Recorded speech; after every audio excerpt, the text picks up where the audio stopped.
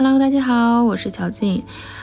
昨天不是跟婆婆闹了小别扭，离家出走了吗？然后那个，呃，小姑子不是就当中间人嘛？她说，啊，她昨天跟婆婆打了电话，沟通了，啊，好长时间，然后也说了，她老公也有这方面的啊烦恼。然后我们大家呢都知道，啊，婆婆这个人心底是比较不错的，但有时候说出来的话，确实是让人挺难过的。就像我小姑子她老公，嗯，也是会经常，偶尔的，我婆婆冒出来两句话，给她气的，也是经常找我小姑子吐槽。我跟我婆婆的事情上期也有讲到，是一件小事，但是呢，呃，是时有经常发生。只要我每次买东西什么的，她都会蹦出来两句。然后上个视频我有说过，但是很多亲们没有看明白。我生气的点儿就是，如果老人觉得，哎呀心疼你这个钱，然后可以就是直接表达，就说，哎呀你不要买这么多些，小孩子够用都行了，然后可以直接跟我沟通。但是他是当着我的面骂给娜娜，其实就是说给我听的。这样的话，在我听来就是有点阴阳怪气的话。有什么事情你直接沟通，然后指桑骂槐的做法，然后又解决不了事情。我小姑子也说了，她说我妈这样做确实不对。平常她跟我说话有时候口无遮拦，说出来话也很让人伤心的。她说你那么的努力工作，努力赚钱，啊，给自己孩子支配，嗯，是你的。权利，他是无权干涉你的私人生活的。经过我小姑子的调解之后，我婆婆也意识到她说话有很存在很大的问题，然后也表达了说她的做法确实不妥，然后也明白了不应该干过多干预我自己的生活。这个问题呢，也就算翻篇了。本来我也没有说真正的生他的气，就是想让通过这个事情让他明白，然后婆媳之间有一个界限，大家都不要越界，然后以后相处的话会更轻松和愉快。上个视频呢，然后有亲们还说，哎，你住到你公婆家有没有交房租，有没有交伙食费？首先呢，呃，我公公房子它是自建的，是三栋，我婆婆是住在二楼，我们住在三楼，这个是相当于是我公公婆婆在我们结婚的时候，呃，楼上已经是呃给我老公了，就是说相当于是我们自己的房子了。我们家里边的钱呢是分得很清楚了，就像我公公婆婆跟我，呃，老公他们的钱是分得很清楚的，就是出去旅游啊什么的都实行的是 A A 制。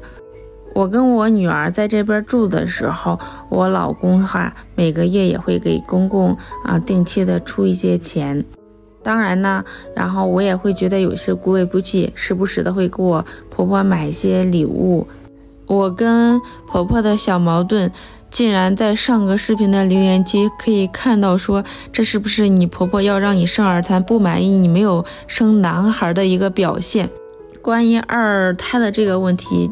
呃，娜娜两岁的时候，我确实有考虑的，因为呃那时候刚好疫情被困在这里了，想着说如果将来的话遇到一些突发情况的一个孩子，确实挺孤单的。然后呢，我就跟我老公婆婆商量，我老公说现在经济压力大，以后如果暴富的话可以考虑，如果经济基础没有达到暴富的状态下，一个孩子就足够了，而且养孩子的话太费精力和时间了，啊，一一个养好就不错了。之前呢，有亲们一直留言说你小姑子为什么不生孩子？今天把这个问题给大家顺带说一下。因为前两年呢，我小姑子确实想要孩子，呃，跟我婆婆商量，我婆婆说，如果你们有自己能力，自己生、自己养、自己带的情况下，我建议你不要要这么早孩子，或者不是不要孩子，因为我是不可能帮你带孩子的。在一两一般生孩子的话，女方会管的会比男方的家长要多很多。所以，我小姑子觉得她一个人肯定是搞不定的，目前一直没有要孩子，这也是其中的一个原因。小姑子想着是再过两年，然后是经济什么的各方面比较富裕一些的话，到时候肯定是要找阿姨的，她的心性也会定下来一些。如果她说自己现在生孩子的话，要一天二十四小时在家待命的话，她会崩溃的，因为她觉得她心智还达不到做一个合格的妈妈，自己生自己养自己带的一个境界。子结婚七年多来一直没有要孩子的一个原因。所以求求你们了，不要任何事情发生一点小事情都能联想到生二胎去。小姑子买的新衣服，今天我也买了一个一样的，同款同色系。你老公呢？你爱人呢？你爱人呢？啊？你爱人呢？你爱人？啊？你爱人？你来听？你爱人？我爱人？我爱人？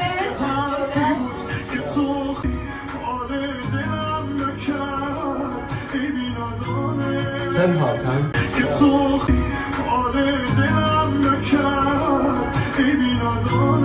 真好看。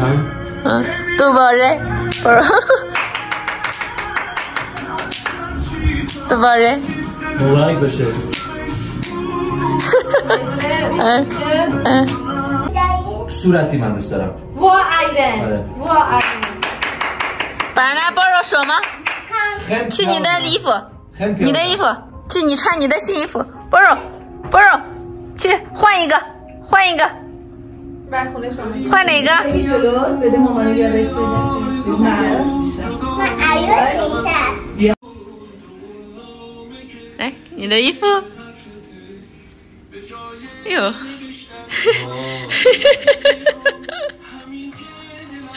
娜娜，你漂亮啊，还是姑姑的衣服漂亮啊？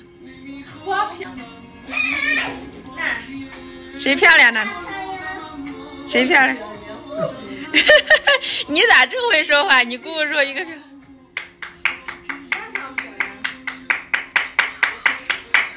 什么不想的？你这样骚好身材的这我就不知道。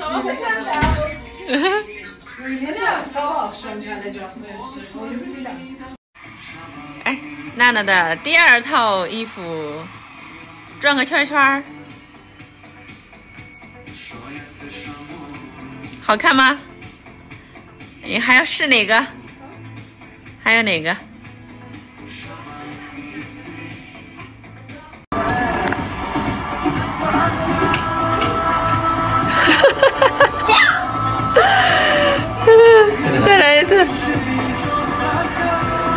哇，好漂亮！再换一套衣服。不然呢？还有什么衣服？这期视频就分享到这里啦，我是小青，关注我，我们下期再见。这是小姑子的新包包，在这儿嘚瑟呢，拜拜。